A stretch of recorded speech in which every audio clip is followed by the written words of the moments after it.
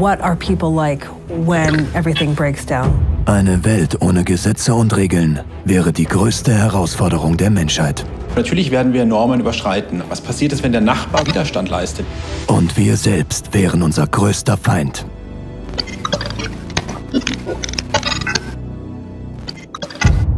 Die Welt hat sich weitergedreht. Ein Pockenvirus hat einen Großteil der Bevölkerung ausgelöscht. Alles begann in Manhattan. Jetzt herrscht Chaos in den Straßen des Big Apple. Die alten Gesetze sind Vergangenheit. Neue Gangs kämpfen um ihr Territorium. Ihre Beute sind die Schwachen. Wenn sich staatliche Strukturen auflösen, dann lösen sich ja somit ganze Normgefüge auf. Das wird, wenn so Strukturen zusammenbrechen, möglicherweise dann zu Normüberschreitungen kommen. Aber auch ganz sicher werden neue Normen verhandelt werden müssen. Erstmal führt es zu großer Unsicherheit. Normen und Regeln haben ja die Funktion, dass sie für uns im Alltag Unsicherheit ähm, reduzieren. Wir wissen vor allem, wie sich andere Menschen verhalten werden in Situationen. Wenn nun die Situationen ganz neu sind und Normen nicht mehr Anwendung finden, wissen wir nicht, wie sich die Menschen verhalten. Wenn wir uns daran gewöhnen, Normen zu brechen, das immer wieder machen, in verschiedensten Situationen, dann kann das so eine Eskalation der Normbrüche ähm, nach sich ziehen. I think for, uh, for a real person, it would be it would be terrifying. I think that the circumstances of the game would be very frightening.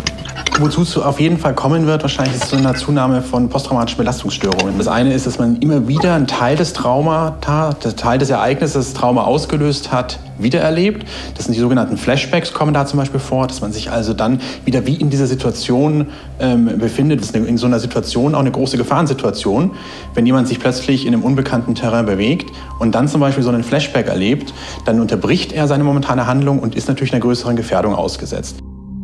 What happens to people when they're put under extremes of psychological pressure? Some people become very altruistic and try and help other people and sacrifice themselves for the sake of other people. And other people, you see it as a great opportunity to take advantage and to, to, and to accumulate more power or more wealth or more, or just um, to victimize other people for their own benefits. Eine Situation, wie sie jederzeit überall auf der Welt passieren kann. Deutschland 1933. Die Demokratie der Weimarer Republik bröckelt. Seit vier Jahren gibt es keine parlamentarische Mehrheit mehr. Im Land brodelt es. Über sechs Millionen Menschen haben keine Arbeit. Die Folge? Diktatur und Terror gegen Andersdenkende. Die sogenannte Schutzstaffel übernimmt den Polizeidienst der NSDAP. Ganz wichtig an der Stelle, dass sich ähm, ganz normale Menschen, also nicht psychisch kranke Menschen, nur diesen Gruppierungen angeschlossen haben. Das war eine Situation in Deutschland, in der sehr viele Menschen aufgrund von Arbeitslosigkeit, von wirtschaftlicher Armut wenig Bedeutung hatten, wenig erreichen konnten. Und plötzlich wurde ihnen sozusagen eine Lösung vorgeschlagen. Hier ist die Lösung, wie du mehr werden kannst, wie du vielleicht auch Macht erleben kannst, wie du deine Bedürfnisse erfüllen kannst. Und da wage ich die Hypothese, dass es bei uns trotz dieser Erfahrung ähm, nicht zwingend ganz anders wäre, wenn wir in so einer vergleichbaren, ähnlich starken Situation sind. Seit Beginn der Menschheitsgeschichte gibt es kontrollierte Gebiete. Fast immer sind sie unter erheblichem Gewalteinsatz entstanden. Doch jedes Reich löst sich irgendwann wieder auf. Und die Situation gerät vorübergehend außer Kontrolle. Lernt die Menschheit dazu oder bleiben gewisse Verhaltensmuster immer gleich? Häufig sind das ja sehr fundamentale Bedürfnisse. Bedürfnis nach Schutz, nach Macht, nach Bedeutung. Und diese Bedürfnisse haben sich nicht zwangsweise verändert durch all die Jahre. Wir befriedigen sie in unserer heutigen Gesellschaft anders. Wenn wir doch jetzt diese Bedürfnisbefriedigung nicht mehr möglich ist, ist anzunehmen, dass wir uns auch wieder andere Wege suchen.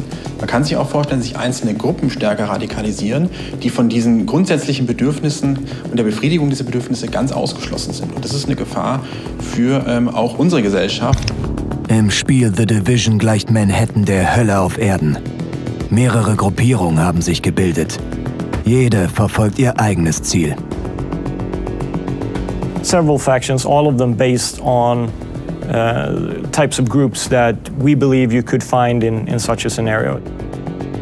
The first faction is the rioters who are, are basically They're, they're sort of modeled after when, whenever there's any, any, kind of a riot that you see on television. They're sort of like those people who were sort of in the wrong place at the wrong time, who are who are being opportunistic for their own survival. So they're not they're not they're being sort of they're on the brutal side of the average person. You know, they're they're sort of instead of being altruistic or banding together in a cooperative way with other people for their survival, they're just going to go for they're the ones who are going to loot, they're going to murder people on the street, they're going to take money out of take uh, candy out of a child's hand those people who I think are, are, are everywhere, really. So they're, they're kind of based on, on real life. We have one gang called the Rikers. There is a very big uh, prison facility. These people managed to break out, and some of them uh, fled to Manhattan. Very evil, nasty people. Then we have the cleaners. So the cleaners are a group of uh, sanitation workers. They were there from the beginning forced to work with, you know, taking care of bodies. And at the point when governments collapsed and they, they no longer got orders, they decided for themselves that the only way we're getting home is if we kill this virus. They're basically burning people alive who they think are sick or who are sick, who, who they suspect of being sick, which in New York City is basically everybody. They really think they're doing it for the sake of the greater good. I find them particularly frightening both because of their methods, and I, I think there's a lot of, in real life, there's a lot of people who would commit atrocities for what they believe is the greater good. Das ist ein fundamentales Bedürfnis von Menschen, dass wir uns anderen Menschen anschließen.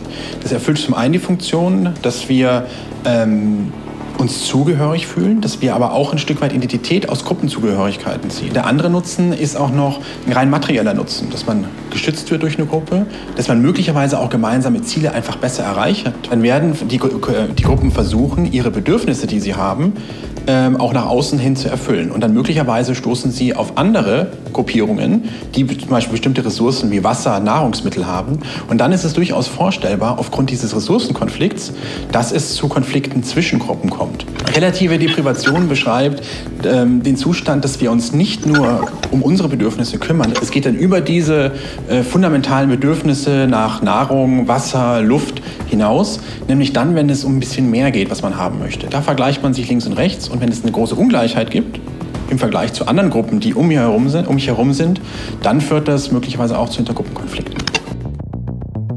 Kolumbien. Guerilla-Milizen tragen den Krieg vom Dschungel in die Städte. Immer häufiger wird die Zivilbevölkerung in die Konflikte gezogen. Nigeria. Erfolgreiche Einsätze gegen die Terrororganisation Boko Haram.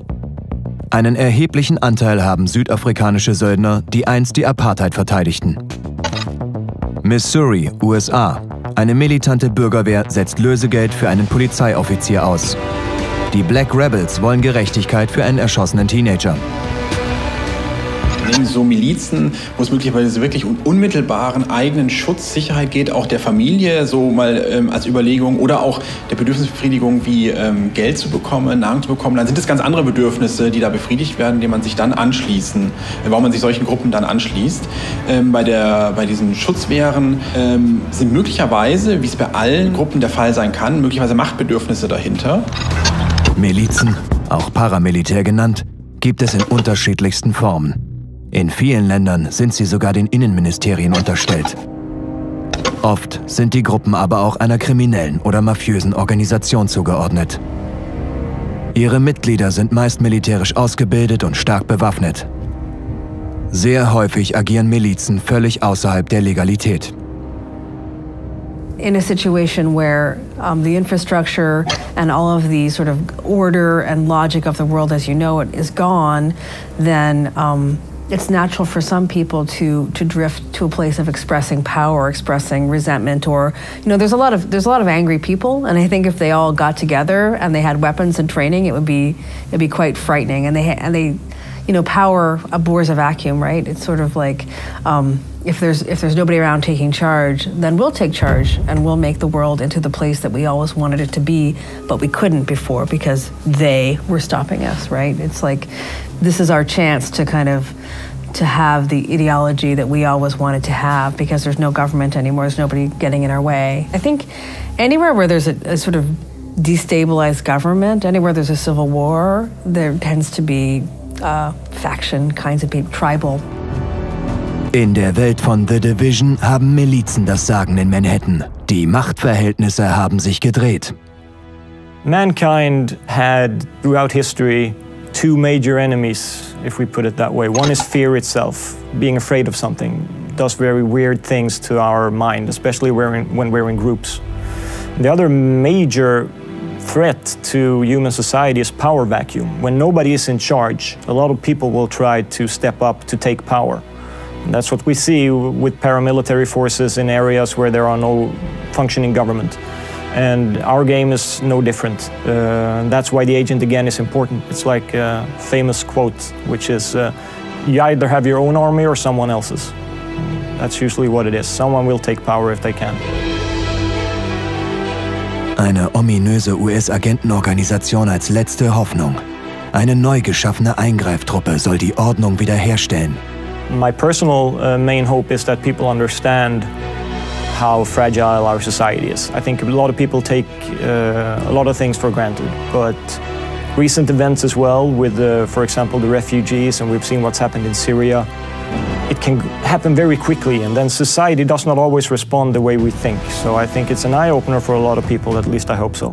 One main lesson would be to get involved actually, you know, don't stand on the sidelines, get in there and help because society is built of people. And if we don't get involved, then everything will fall.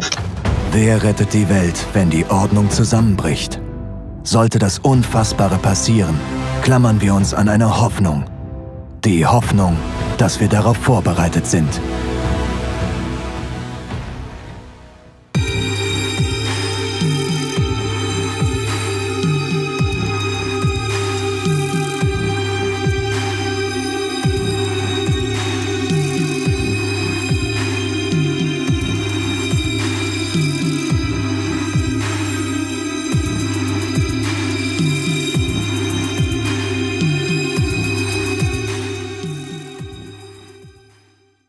Neue Inhalte zuerst auf Xbox. When we first arrived, this place was destroyed. But over time, we can make it our home.